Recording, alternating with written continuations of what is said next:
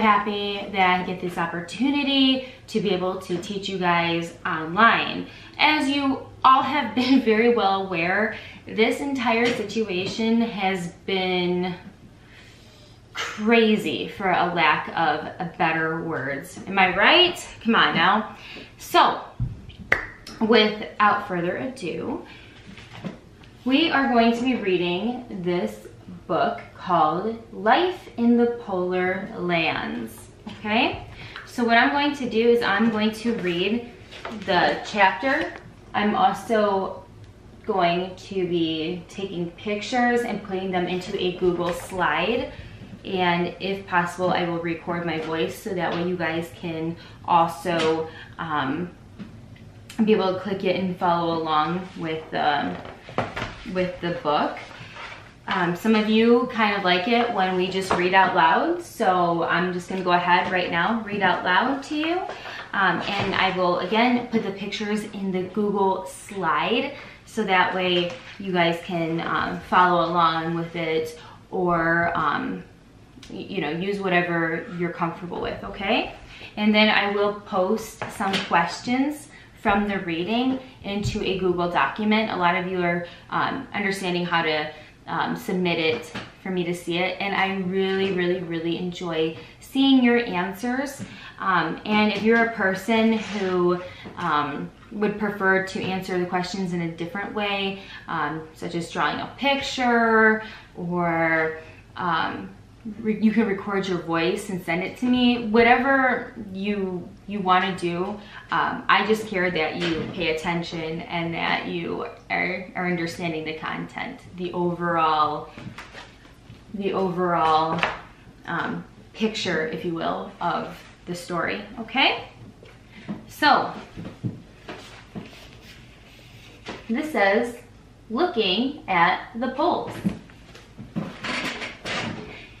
Few areas in the world are harsh and desolate as North and South Poles, and there are as beautiful, and few are as beautiful. For much of the year, both areas are freezing cold with fierce winds and thick snow and ice on the ground as it grows colder. Even the seas freeze. Not many animals live here. Some species, however, are hardy enough to live, breed, and find food in open wastes. Their bodies have specially adapted to the constant cold. In summer months, May to July, at the North Pole, and November to January at the South Pole, the sun shines at midnight. In winter, the poles remained almost permanently dark. So imagine, shut your eyes. Dark, that's all you can see, okay? The snow and ice recede in the short summers, leaving the ground littered with pools of melt water. The land is covered with flowers, and bursts of green leaves, creatures mate and nest or find safe places to give birth to their young. The air is filled with insects. Plants in the polar lands spend most of their time under snow, but burst into life during the short summers.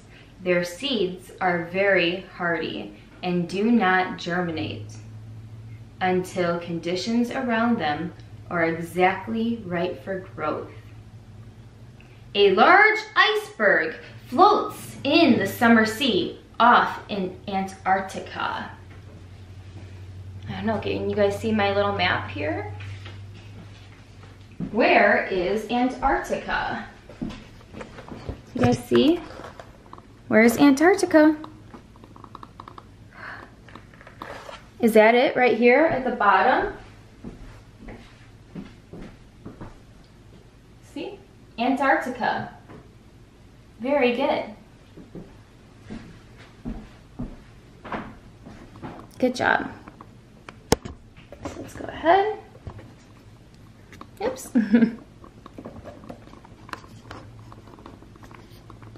there we go. Sorry guys.